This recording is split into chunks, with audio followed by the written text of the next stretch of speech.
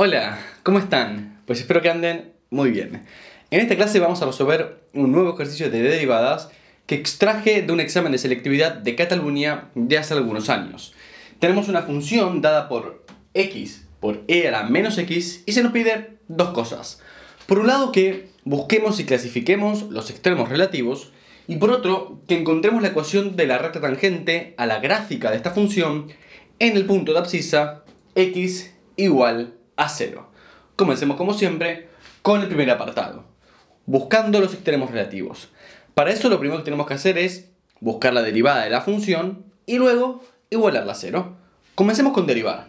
Vemos que tenemos un producto de funciones, así que vamos a hacer la derivada de un producto. Tenemos primero la derivada de x, que es 1, multiplicado por la segunda sin derivar, más x, es decir, sin derivar, multiplicado por la derivada de e a la menos x.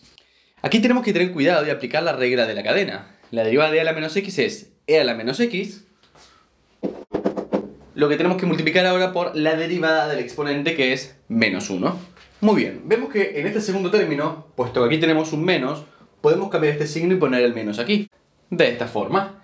Y ahora vemos que cada término tiene presente e a la menos x. Así que lo podemos extraer como factor común. Entonces, al extraer e a menos x como factor común tenemos que aquí multiplica por 1, que es básicamente lo que tendríamos aquí. Fíjense que ya no lo copié.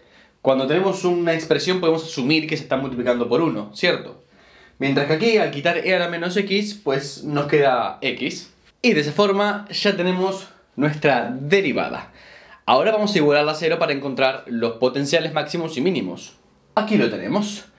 Ahora, aquí hay algo muy importante que incluso en estudiantes universitarios veo que a veces lo olvidan, así que atentos. Si tengo un producto de factores igualado a 0, pues entonces para que esto se cumpla, alguno de los factores debe ser igual a 0. Es decir, si tenemos a por b igual a 0, pues entonces para que esto se cumpla, a debe ser 0 o bien b debe ser 0. Vamos a aplicar esto aquí. Diremos que e a la menos x debe ser 0 o bien 1 menos x debe ser 0. 1 menos x igual a 0 es muy fácil. Tenemos x igual a 1. ¿Y qué hay de e a la menos x? Aquí es donde es importante que ustedes conozcan las gráficas de las funciones. Sabemos que la gráfica de e a la menos x tiene este aspecto. Corta el eje y aquí en 1 y tiene una asíntota horizontal en igual a 0 e a la menos x nunca se anula, nunca corta el eje x. Por ende, esta primera ecuación no tiene solución. Tenemos entonces que el único punto crítico es aquel de abscisa x igual a 1. Ahora, en ese punto tendremos un máximo o tendremos un mínimo. Pues vamos a clasificarlo usando el criterio de la primera derivada. Para eso vamos a sustituir en la derivada un valor de x menor a 1 y otro pues mayor a 1. Y vamos a observar el signo. Comencemos con uno menor a 1, por ejemplo, el 0. Al sustituir 0 aquí tenemos 1 menos 0, pues 1. Así que e a la menos x multiplica 1. Perfecto. Ahora, si aquí ponemos un 0, ¿qué tenemos? e a la menos 0 es e a la 0 y e a la 0 es 1.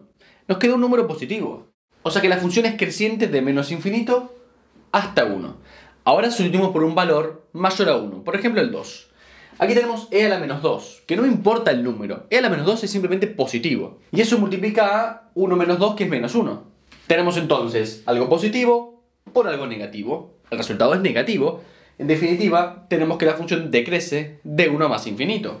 Entonces, si tenemos que crece y luego decrece, aquí, en x igual a 1, tenemos un máximo. Ya hemos encontrado el máximo de la función. Simplemente nos faltaría encontrar su ordenada, porque conocemos que la abscisa es x igual a 1, pero no conocemos la ordenada. Para conocer la ordenada, tenemos que simplemente sustituir en la función. Bien, si aquí ponemos el 1, tendremos 1 por e a la menos 1. e a la menos 1 es simplemente 1 partido entre e. Por lo tanto, el punto máximo de esta función viene dado por 1 y 1 partido entre e. Esas serían sus coordenadas.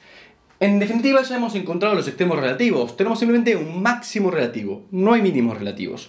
Por ende ya acabamos con el primer apartado y pasamos al segundo.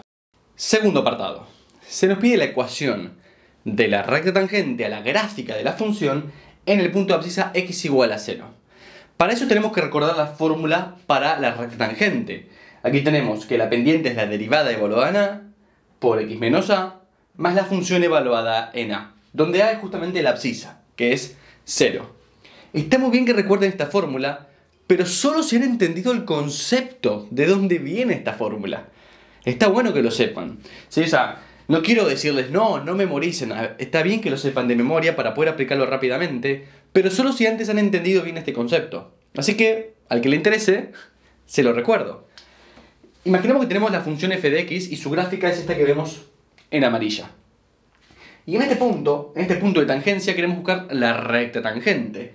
Este punto tiene como abscisa a y como ordenada pues la función evaluada en a.